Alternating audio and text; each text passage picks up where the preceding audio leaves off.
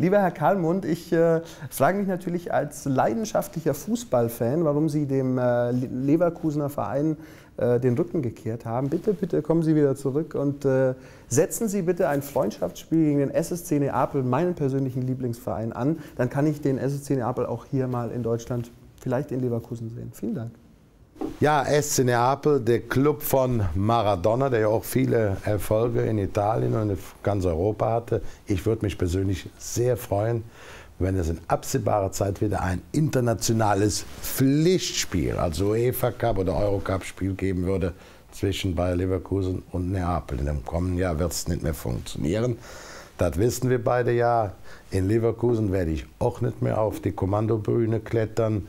Ich habe das 2-4 gesagt. Schluss ist Schluss, Feierabend. Und bin da eigentlich äh, zwar wie Konrad Adenauer, der immer gesagt hat, was stört mich, mein Geschwätz von gestern, aber ich will nicht mehr. Dessen brauche ich den Satz auch nicht zu strapazieren. Fußball ist nach wie vor die schönste Sache der Welt. Ich liebe den Fußball. Aber lieber jetzt als Fan und Zuschauer, nicht so aufzuregen.